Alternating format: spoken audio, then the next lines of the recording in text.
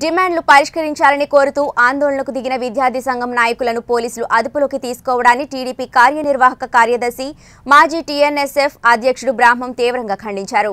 ఈ సందర్భంగా ఆయన మాట్లాడుతూ తన ఆరోగ్య పరిస్థితి బాగోలేదని చెప్పినా పోలీసులు వినలేదన్నారు. తాను ఉగ్రవాదిని తీవ్రవాదిని కాదని తాను ఏ నేరం చేయలేదని అర్ధరాత్రి సమయంలో ఇలా అరెస్ట్ చేయడం సమంజసం కాదన్నారు.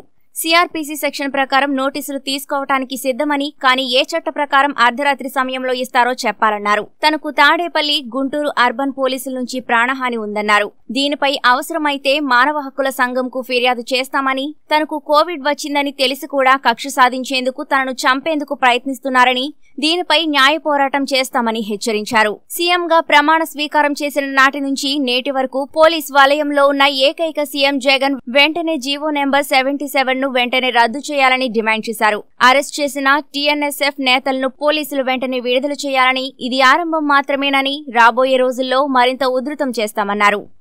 కూర్చొని ఎట్టి పరిస్థితుల్లో మేము బాగున్నాం పోలీస్ స్టేషన్కి రావాల్సిందే అని చెప్పేసి నన్ను నానా ఇబ్బందికి గురి చేశాను నేను అప్పుడు అడిగాను మీకున్నటువంటి రూల్స్ నాకు కూడా తెలుసు. ఫార్టీ వన్ సిఆర్పిసి నోటీస్ నాకు ఇచ్చే ఇచ్చే ఉద్దేశం మీకు ఉంటే నాకు టైంతో సహా ఇవ్వండి అర్ధరాత్రి అని అంటే తొలుత నిరాకరించాను.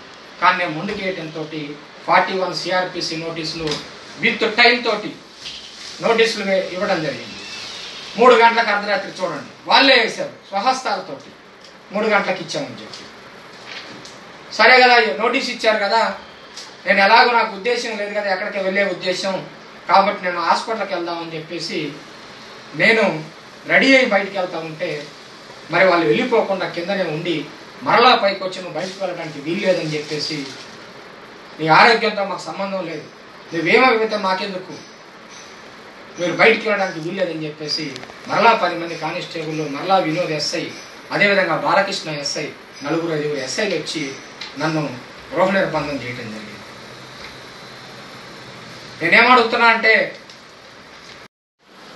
తెలుగుదేశం పార్టీ రాష్ట్ర కార్యనిర్వాహక కార్యదర్శిగా ఉన్నటువంటి నాకు కరోనా పాజిటివ్గా నిర్ధారణ అయింది. ఇరవై ఏడవ తారీఖు నుండి రెండవ తారీఖు వరకు నేను హోమ్ క్వారంటైన్లో ఉండటం జరిగింది. ఆ తర్వాత ఏదైతే కరోనా ఉందో శృతిమించి నన్ను ఇబ్బంది పెడతా ఉంటే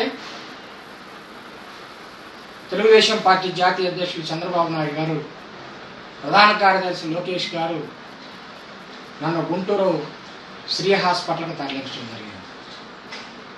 దాదాపు రెండవ తారీఖు నుండి పదహారో తారీఖు వరకు కూడా ఆక్సిజన్ తోటి ఐసీయూలో ఉన్న ఉండి భగవంతుని దయ వల్ల చంద్రబాబు నాయుడు గారు లోకేష్ బాబు గారి కృషి వల్ల నేను క్షేమంగా తిరిగి బయటికి రావడం జరిగింది. మరి నేను దాదాపుగా నాలుగు నాలుగున్నర సంవత్సరాల నుండి తాడేపల్లిలో ఉంటా ఉన్నాను. కానీ వైద్యుల యొక్క సలహాలు సూచనల